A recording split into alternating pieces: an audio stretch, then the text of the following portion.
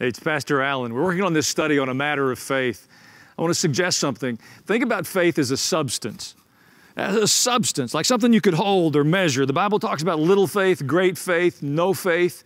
See, I think we've imagined faith is kind of like pixie dust. It's a wish, it's, it's something intangible. Well, I know it's a spiritual force, but it's something that the Bible talks about in measurable terms. What you and I want to be guilty of is cultivating faith. What you choose to believe really matters. When you take the Word of God and you put it in your heart and you say, Lord, I'll agree with you, faith grows. Your faith gets stronger. It creates greater God opportunities for you and me. Be careful what you listen to. Think about what you choose to believe because you're either growing great faith or you're diminishing your faith. God, give us faith in you. I thank you for it. In Jesus' name, amen. God bless you.